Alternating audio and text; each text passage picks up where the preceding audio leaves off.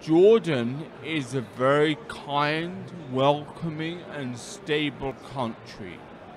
And for the Christians there, they are getting no official help from any government, only the help that we from our foundation give them. But life is stable and they have hope. What we need is for some country to eventually welcome some of these Iraqis into their lands. And so far, only one family has gone to Canada and one to France. Mm. What other countries are there? Other countries in the Middle East, say, uh, um, neighboring countries where some of the Iraqi refugees are, are ending up? No, there are some who have fled to Lebanon, and um, a few maybe who've gone to Yemen, mm. but there's nowhere which is often sanctity.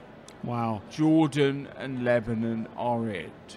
So is is you say Jordan's not really giving this group any official recognition? Are they no. li- are they in quote unquote refugee camps or no, what kind of conditions? Not. Okay, they're living in really ramshackled houses that they can just about afford to rent, and we're helping them rent them.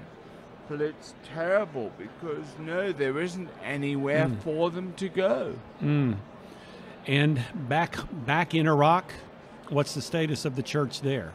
Back in Iraq, a lot of the Christians have moved up to north in Kurdistan, mm-hmm. and there they do have considerable freedom in Kurdish areas. In Iraq itself, the main Christian community was in Mosul, in Nineveh. Mm-hmm. There are no Christians there now.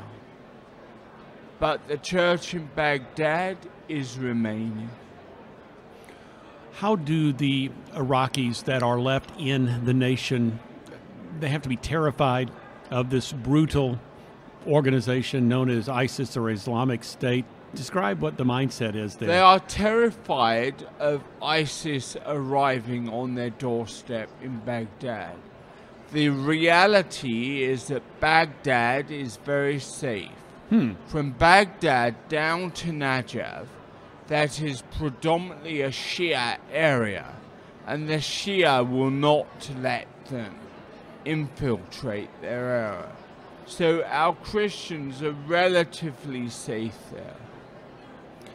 Well, and you're working primarily in Jordan. I know you were sharing with me you're due to go to Baghdad again here in the next few weeks, and uh, you're helping these Iraqi refugees in the nation of Jordan, who many of them, it sounds like, need basic supplies. Oh, absolutely. We're having to provide them with everything. Mm food, education, healthcare, housing. How are they holding up spiritually? Incredibly well.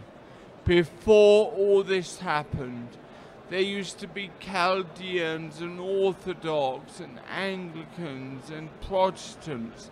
Now, with this persecution, we have become one. Wow. We're just Christians. Nobody ever speaks about what denomination they belong to. We don't. We belong to Yeshua. We are Messihi, followers of the Messiah.